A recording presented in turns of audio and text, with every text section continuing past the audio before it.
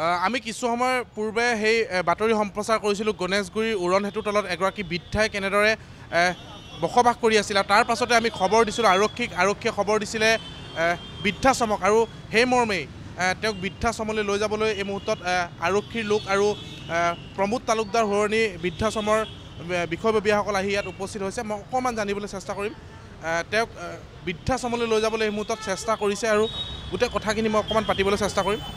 ইয়াতে কালি যাম কালি যাম এই যে গাড়ী আহিছে আপোনাৰ একদম ধুনীয়াকৈ যায়। এই গাড়ীৰে আপোনাক লৈ যাব। কালি যাম নহয় কালি নালাগে এতিয়া মহে খাব একদম বহুত আজি নাযাওঁ বেটা। নহয় মই আহিছোঁ নাই ব'লা। মই এতিয়া নাযাওঁ আৰু। নাযাওঁ দে বেটা।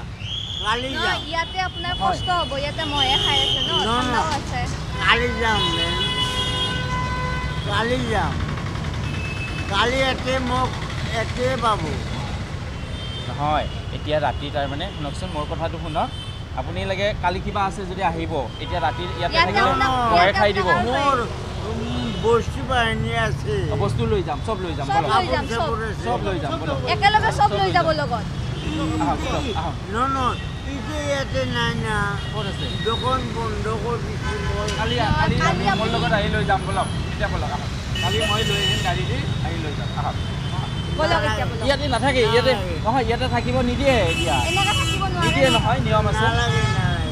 আহ, এই মুহূৰ্তত আমি দেখুৱাইছোঁ সেইগৰাকী বৃদ্ধা সদা মজুমদাৰ। তেওঁৰ ঘৰ হৈছে নলবাৰীত আৰু নলবাৰীৰ পৰা আহি তেওঁ ইয়াত বহু বছৰ বসবাস কৰি আছিল আৰু আৰক্ষীয়ে তৎপৰতাত তেওঁক লৈ যাবলৈ এই মুহূৰ্তত বিচাৰিছে।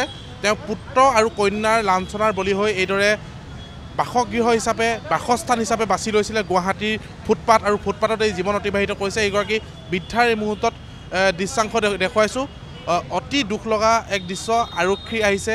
লগতে প্ৰমোদ তালুকদাৰ সুৰণি বৃদ্ধাশ্ৰমৰ লোকসকল ইয়াত আহিছে তেওঁক উদ্ধাৰ কৰিবলৈ তেওঁক লৈ যাবলৈ এই মুহূৰ্তত আহিছে। আমি সেই দৃশ্যাংশ দেখুৱাইছোঁ কণ কণ কণ আছে সহযোগী কণ কণে ক'ব অতিকৈ দুখ লগা এক দৃশ্য। গুৱাহাটী মহানগৰী এইদৰে ফুটপাথত তেওঁ জীৱন কটাবলগীয়া হৈছে। পুত্ৰৰ আৰু কন্যাৰ লাঞ্ছনাৰ বলি হৈ এইদৰে বসবাস কৰিবলগীয়া হৈছে। ফুটপাথৰ হিচাপে ঘৰ হিচাপে বাছি লৈছে। নিশ্চয়কৈ চাব লাগিব। আমি প্ৰায় দেখি আহোঁ এনেকুৱা ধৰণৰ যিসকল বৃদ্ধা মাতৃ পিতৃ মাতৃ থাকে তেখেতসকলক আচলতে বৃদ্ধ বয়সত এনেকৈ ফুটপাথত পেলাই থৈ যায়। যিসকল শিক্ষিত সন্তান আছে সেই শিক্ষিত সন্তানসকলৰ আচলতে এনেকুৱা কাণ্ড আমি বিভিন্ন সময়ত দেখিবলৈ পাইছিলোঁ। নিজৰ পিতৃক অত্যাচাৰ কৰে বৃদ্ধ বয়সত যেতিয়া পিতৃ মাতৃয়ে তেখেতসকলৰ ওচৰ কাপ ওচৰ চাপে কিছু অসুখত পৰে তেতিয়া এনেকুৱা ধৰণৰ সিদ্ধান্ত লয় বা এনেকুৱা ধৰণে তেখেতসকলক পেলাই থৈ যায়। আৰু আজিও আমি সেই একে দৃশ্যাংশ দেখিছোঁ তেখেতসকলৰ যিটো সন্তান আছে সেই সন্তান কিন্তু ক'ব লাগিব খুবেই শিক্ষিত সন্তান। কিন্তু আজি সন্তান শিক্ষিত হোৱাৰ পিছতো তেখেতসকলৰ যি পিতৃ বা তেখেতসকলৰ যি পৰিয়াল সেই পৰিয়ালৰ এগৰাকী ব্যক্তিক তেখেতে এই ফুটপাথত গণেশগুৰি উৰণীয়া সেতুৰ তলত তেখেতসকলে থৈ গৈছে। কোনো খা খবৰ লোৱা নাই। কিন্তু এই মুহূৰ্তত যদি কওঁ এয়া বৃদ্ধাশ্ৰমৰ লোক আহি উপস্থিত হৈছে আৰু তেখেতক তাত ভালদৰে ৰখাৰ কাৰণে ব্যৱস্থা কৰিছে আৰু এয়া আচলতে এটা উৎকৃষ্ট নিদৰ্শন বুলি ক'ব লাগিব বৃদ্ধাশ্ৰমৰ লোকসকলৰ ফালৰ পৰা। আজিৰ দিনটোত তেওঁ এইদৰে বসবাস কৰিছিলে। কিন্তু কাইলৈ দিনটোৰ পৰা তেওঁ বাসগৃহ হিচাপে তেওঁ বাছি ল'ব বৃদ্ধাশ্ৰম তেওঁ বৃদ্ধাশ্ৰমত বসবাস কৰিব। জীৱনৰ এই সময়ছোৱাত তেওঁ বৃদ্ধাশ্ৰমতে দিন কটাব আৰু আৰক্ষীৰ লোকসকল এই মুহূৰ্তত আহি ইয়াত উপস্থিত হৈছে। গুৱাহাটী গণেশগুৰি দৃশ্য আৰক্ষীৰ বাহন সাজু হৈ আছে। প্ৰমোদ তালুকদাৰ সুৰণি বৃদ্ধাশ্ৰমত তেওঁক ৰখা হ'ব। এই মুহূৰ্তত আমি সেই দৃশ্যাংশ দেখুৱাইছোঁ।